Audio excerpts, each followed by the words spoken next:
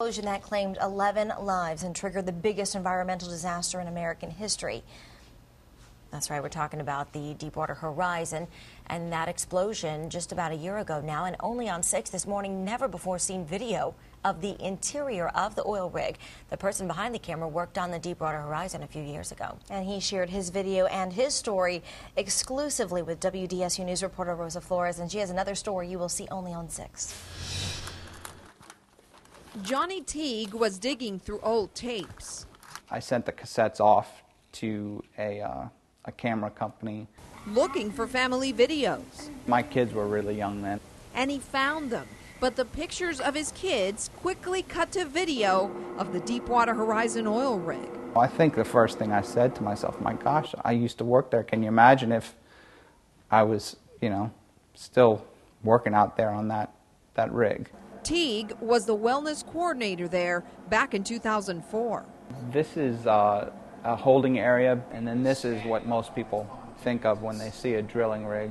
He captured the images to study the body movements of workers, to then recommend exercises for them in the gym. That was part of my job out there, uh, evaluating different job roles and trying to find ways for them to do it more safely.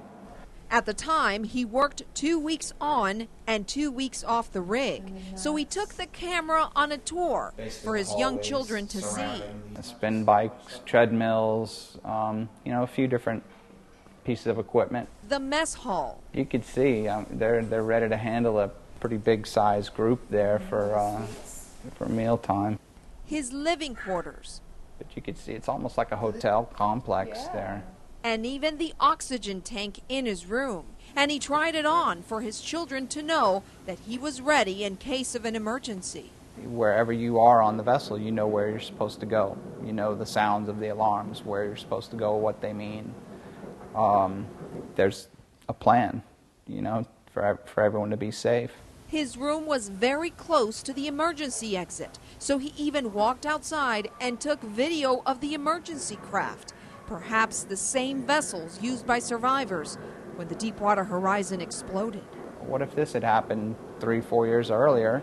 My story would certainly be a lot different. You know, it would have been running from my life instead of showing us a, a video of, hey, this is where I work. So, for this father and husband, a reminder that videos can capture special moments, but they'll never replace real time with family. Now, Johnny Teague was not working offshore when disaster hit the Deepwater Horizon oil rig, but like many folks, he followed the developments very closely. First, the explosion in April of last year that took the lives of 11 people. 36 hours later, the sinking of the rig to the seafloor, and for the nearly three months that followed, oil spewing into the Gulf in a spill that quickly claimed to be one of the worst in American history. On your side, I'm Rosa Flores for WDSU News.